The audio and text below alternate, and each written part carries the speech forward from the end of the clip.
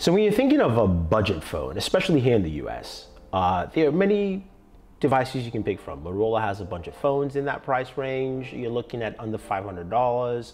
Uh, but there are a lot of devices you can think of. Now, you may be thinking OnePlus, you may be thinking maybe even BLU phones, you may be think, thinking cheaper Motorola phones, but I am talking about a device that came out last year. Yes, I'm talking about the Essential phone. This is my best budget phone for 2018 in the US. The reason why is very simple. The phone packed in a lot of features last year, but was priced really high.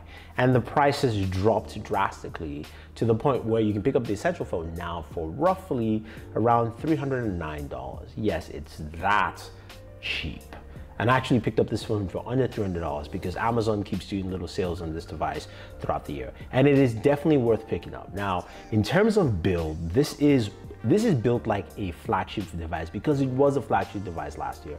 Solid premium materials all the way through. Really feels nice and hefty in your hands. When you hold it, it feels like you're holding a solid smartphone and I like that. It's also one of the first phones to have, of course, really thin bezels all around. You're looking at it on screen here.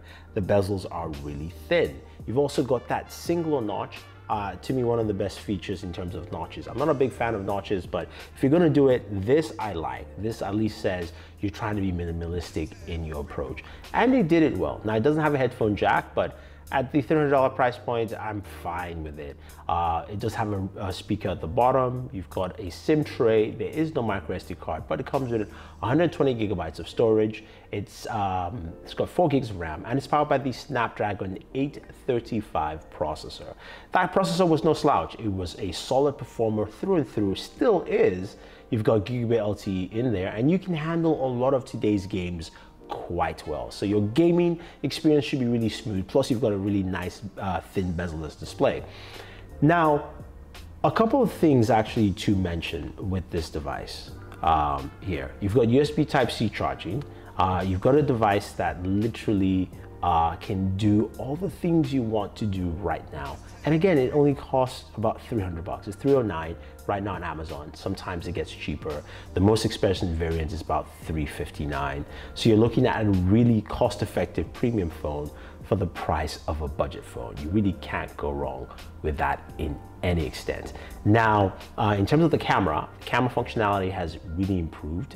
Uh, it's, it's solid now. At, at launch, it wasn't that great. And I have to tell you this, at launch, I didn't look at the Essential phone as a device to pick up, especially at $700 price point.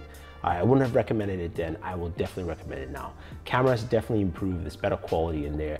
Plus, you have the benefit of being one of the first devices to move Android updates really fast.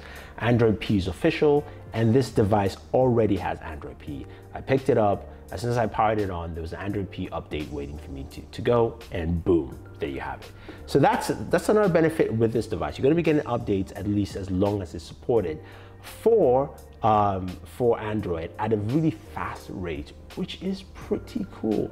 I can't stress how easy it is and how uh, simple this device is. You know, it's running stock Android. Oh, sorry, not stock Android. Forgive me there. It's running close to stock Android at least.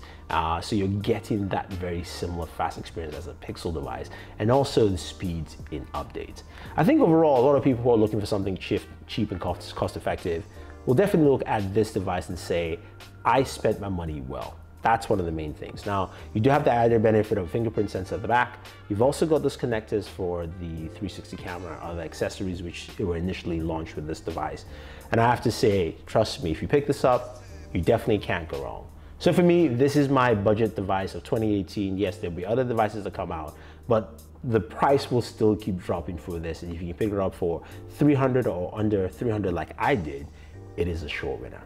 So if you have any questions or any comments, let us know. If you're looking to pick up a, a device like this, or you want to pick up the Essential phone, use our Amazon link down below to support the channel. This is Thunder E saying thank you very much. Don't forget to like and share this video. Favorite this video, subscribe to the channel. Once you do, hit the notification icon to get notified with our latest videos. This is Thunder E saying thank you and always enjoy your entertainment.